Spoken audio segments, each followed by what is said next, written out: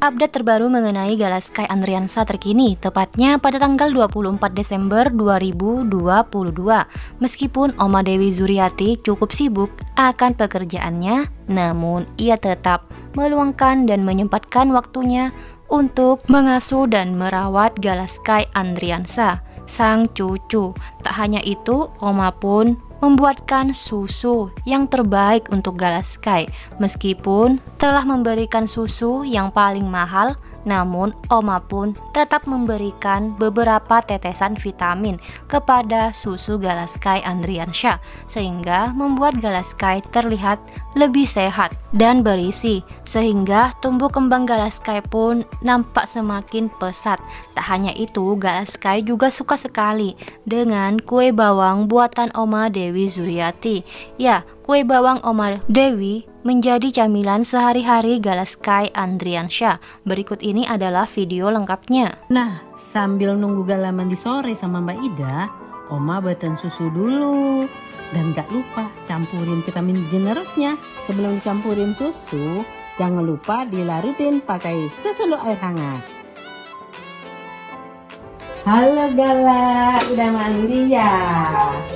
Wah, oh, ada Uti ya. Seneng banget ada Uti ya. Minum susu dulu. Ah, makasih mama. Ah, jangan itu susu galak. Itu susu galak Uci. Muka bete.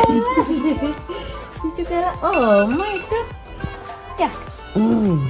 Enak ya. Uci datang ya. Udah nggak sibuk ya. Ya. Habis dari mana? Oma habis dari luar tadi. Hmm, pinter anak mah. Eh, lupa ngancingin bajunya satu nih, Mbak Ida. Hah? Makan apa?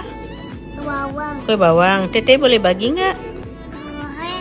Kalau Mbak Idanya? Boleh. Kalau Ibahnya? Boleh. Ih, jangan pelit-pelit dong.